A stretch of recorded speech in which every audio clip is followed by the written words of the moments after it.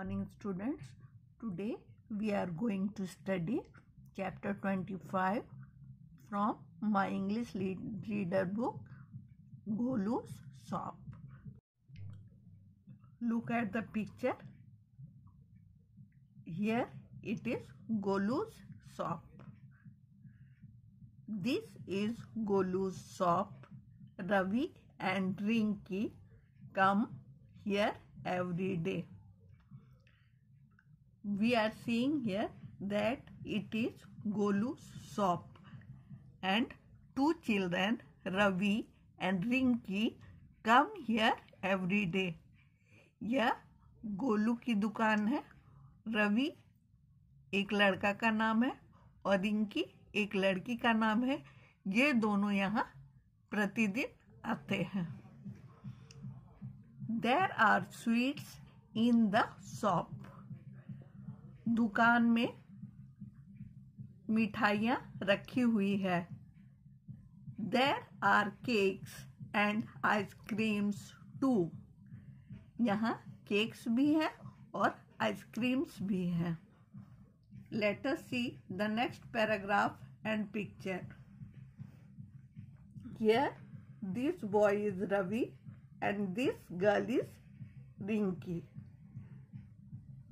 Here comes Rinki and Ravi Rinki और रवि आए हैं रिंकी और रवि आए हैं Ravi wants an ice cream and Rinki wants a cake Ravi को एक आइसक्रीम लेने का मन है और रिंकी को केक लेने का मन है।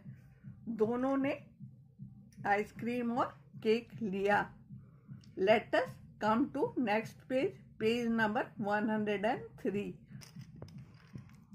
look at the picture children in this page here is an ice cream for you ravi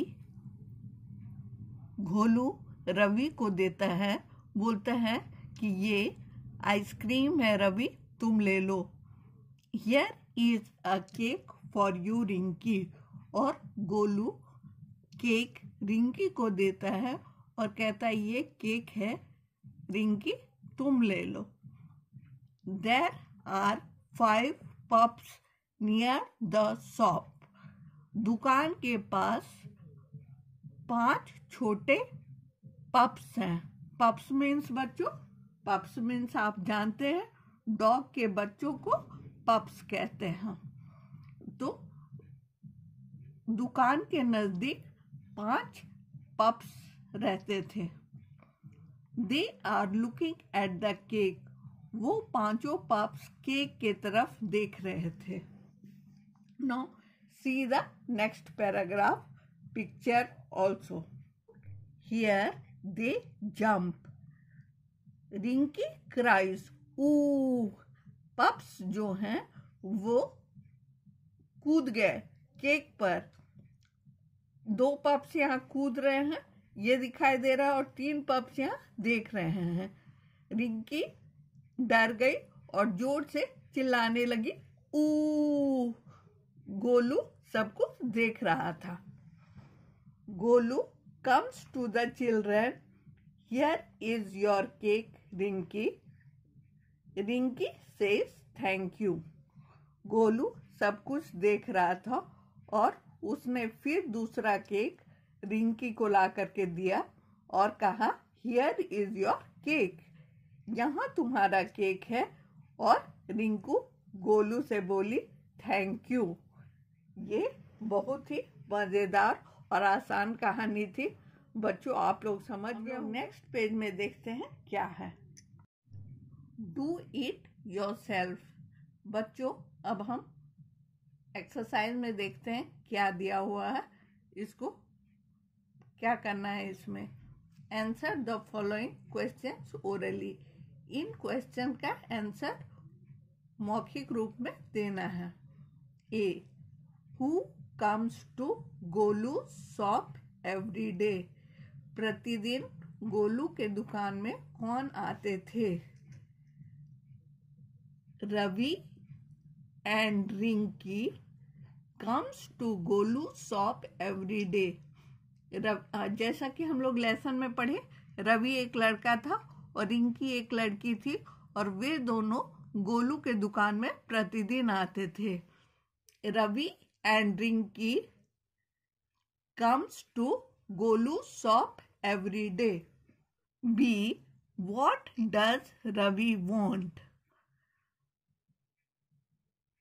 want Ravi wants an ice cream Ravi को दुकान से क्या चीज़ की ज़रूरत थी? रवि दुकान से क्या लेना चाहता था? रवि दुकान से आइसक्रीम लेना चाहता था।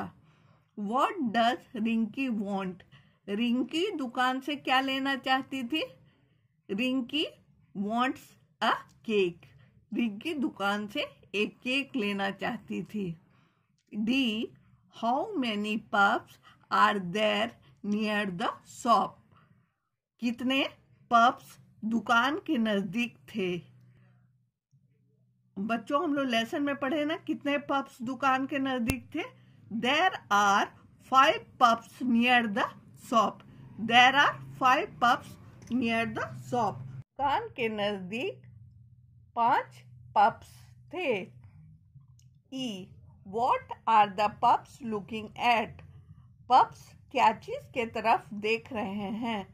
The pups are looking at the cake pups cake के तरफ़ देख रहे हैं।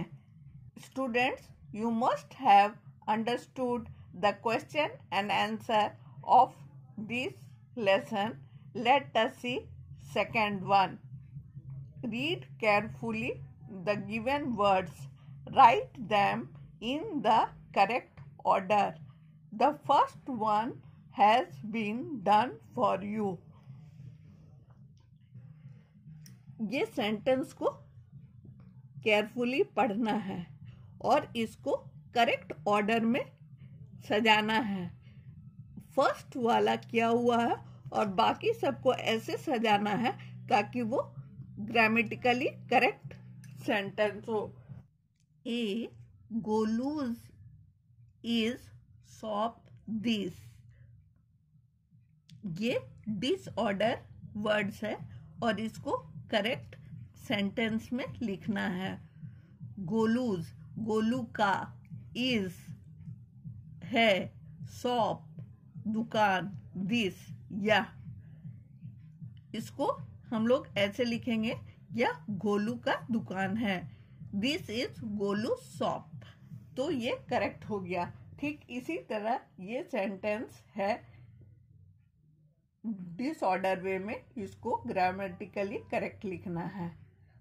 Coming a ball is with Ravi Ravi is coming with a ball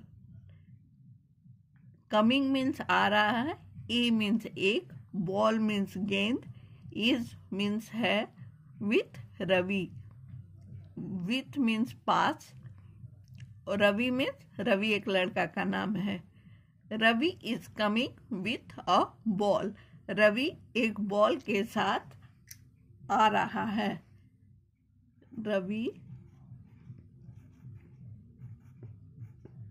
is coming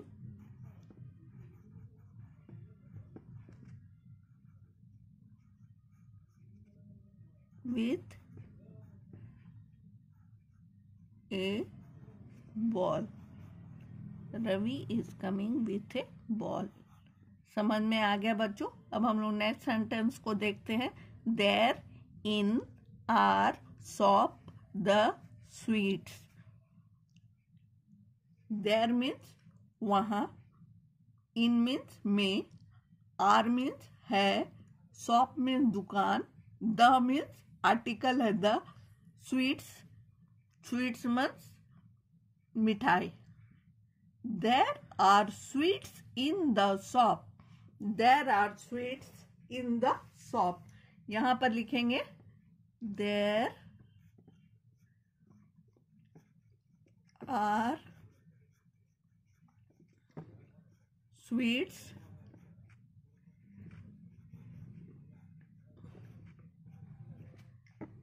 in the shop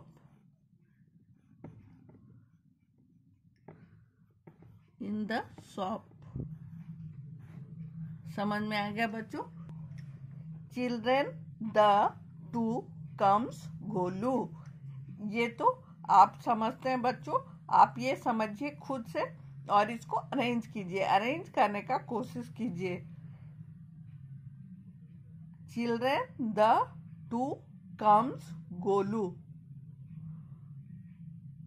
आप बताइए क्या होगा? Golu comes to the children Golu comes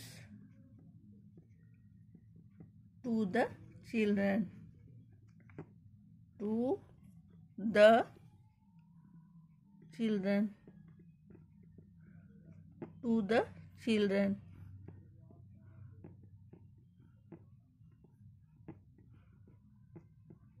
Golu comes to the children हो गया.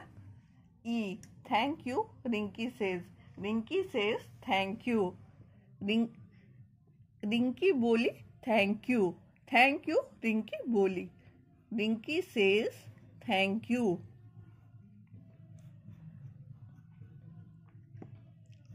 says